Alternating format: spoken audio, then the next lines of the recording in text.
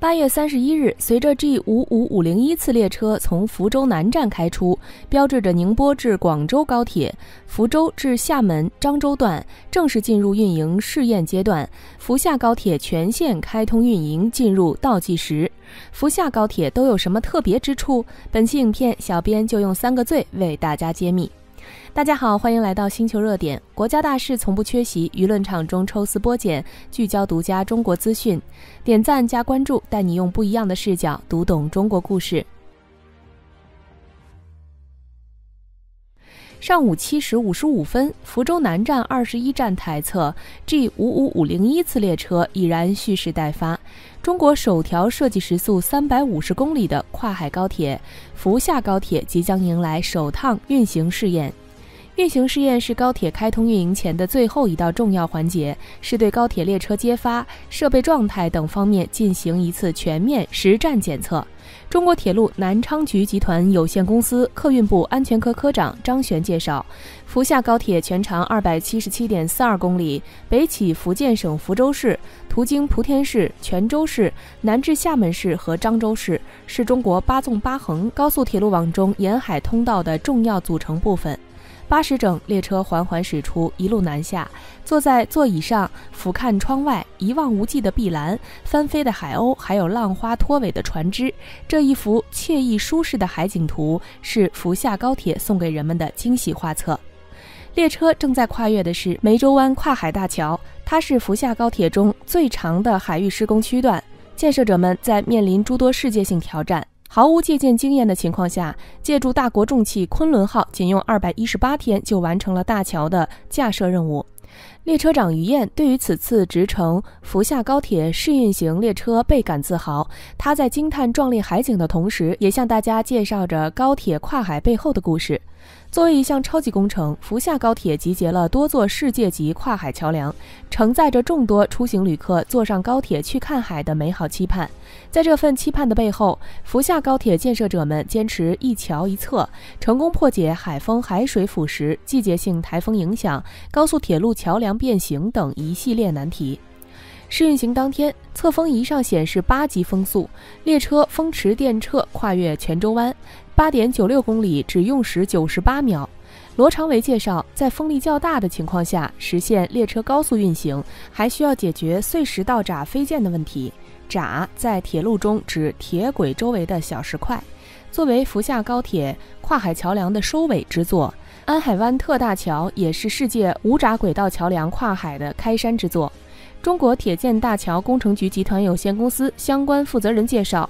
无闸轨道可避免道闸飞溅，其平顺性、稳定性好，车辆通过无需减速。但这种轨道对施工工艺、沉降控制等要求极高。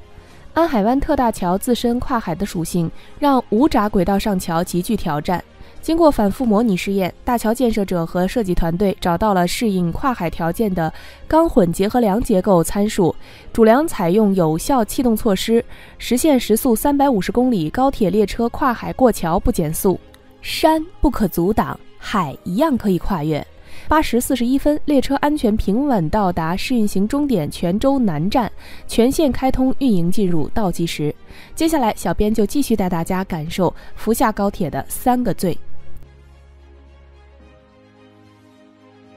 一最快速，新建福厦高铁是中国首条设计时速三百五十公里的跨海铁路。建成通车后，能够有效缓解既有杭深线福厦段的运输能力紧张的局面。建成通车后，福州、厦门将实现一小时生活圈，厦门、漳州、泉州等地形成半小时交通圈。厦门到北京的铁路最快旅行时间将由现在的十一个多小时缩短至九小时左右。全长九点五公里的安海湾特大桥是世界首座无闸轨道跨海大跨斜拉桥，通车后动车几分钟就可跨越大海。中国国家铁路集团有限公司组织在福厦高铁福清至泉州区段开展了新技术部件在更高运行速度条件下的性能验证试验。六月二十八日，在湄洲湾跨海大桥，该试验列车以单列时速四百五十三公里，相对交汇时速八百九十一公里运行。六月二十九日，在海尾隧道，试验列车以单列时速四百二十公里，相对交汇时速八百四十公里运行。对新技术部件进进行了有效的性能验证，各项指标表现良好，标志着 CR 四五零动车组研制取得阶段性成果，为 CR 四五零科技创新工程的顺利实施打下了坚实基础。二，最智慧。四十米预制箱梁在架设过程中采用千吨级运架一体机“昆仑号”，是目前中国功能最全的高铁桥梁提运架设备。不仅能满足二十四米、三十二米、四十米不同跨度的高铁箱梁施工作业，还可提升百分之二十五的架梁速度，填补了高铁建设领域的多项空白，实现了中国高铁建设技术水平的提升。其中建成了梅州湾特大桥、泉州湾特大桥、莆田车站。全港十千伏配电所等九十一个具有代表意义的样板工程，东南沿海铁路福建有限责任公司组织参建单位开展了三十七个科研课题研究，目前已获得国家发明专利十项、实用新型专利一百九十一项、软件著作权十五项、省部级科技奖励和 QC 成果三十三项。福厦高铁以 BIM 加 GIS 技术为核心，综合应用物联网、云计算、移动互联网、大数据等信息技术与专业工程技术融合，利用数字化仿真建造等，实现对铁路四电工程全生命周期的可视化、数字化。全生命管理，有效跟踪控制关键进度节点，减少碰撞与返工，提高建造质量，保证施工安全，优化施工进度，辅助施工现场的精细化管理，打造了数字化高铁神经系统，为智能高铁建造打下坚实基础。智能建造方面。围绕铁路工程建设过程中人、机、料、法、环等关键要素，以 BIM 技术深化应用为核心，通过综合运用自动感知、智能诊断、协同互动、主动学习和智能决策等手段，综合高效利用和整合资源。实现福厦高铁建设全方位、全专业、全天候的安全、质量、进度管控及高效智能的施工管理，积极探索设计、施工、运维全生命周期管理新思路。智能装备方面。对运营线路及旅客站房等关键重点结构开展自动化、智能化监测、分析、预警和健康管理，实施保障线路状态良好，并在旅客站房引入智能天窗、光照光纤系统等装备，提升客站舒适度和节能减排，为旅客便捷、舒适、安全出行提供保障，助力高质量运营服务。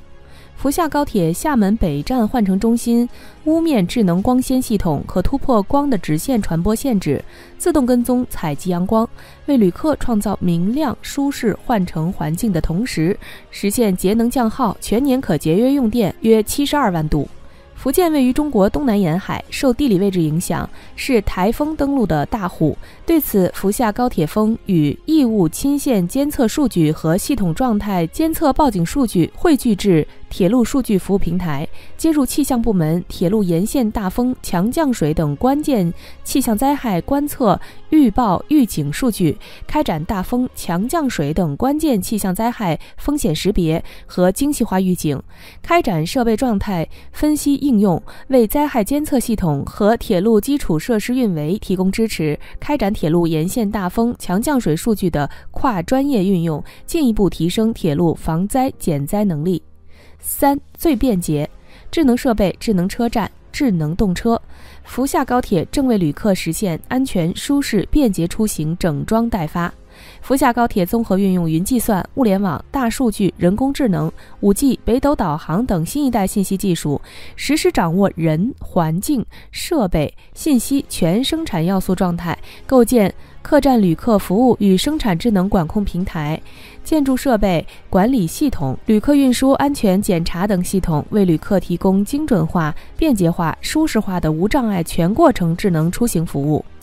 据小编了解，中国具有完全自主知识产权的复兴号智能动车组将在福厦高铁上飞驰。和普通复兴号动车组相比，在维持定员不变的情况下，复兴号智能动车组的一等座座椅间距从1.1米增至1.16米，二等座座椅的椅面加长了2厘米。同时，复兴号智能动车组车厢实现 WiFi 网络全覆盖，座位下的手机充电插口不仅数量明显增加，且在两孔插座之间增加了 USB 充电插口。在减震降噪方面，复兴号智能动车组做到了：当列车通过隧道或交汇时，能让旅客耳部的不适感更加难以察觉。据悉，未来相关配套举措到位后，乘坐复兴号智能动车组出行的旅客还能通过座位显示屏上的红、黄、绿三色电子灯判断座位的状态，让补票升座更加公开透明。好了，今天的内容到这里就结束了。如果你喜欢小编的影片，还请大家多多点赞转发，让更多的人一起见证中国进步。关注我的频道，这样既能回广期视频，又不会错过之后的精彩内容。那我们下期节目不见不散。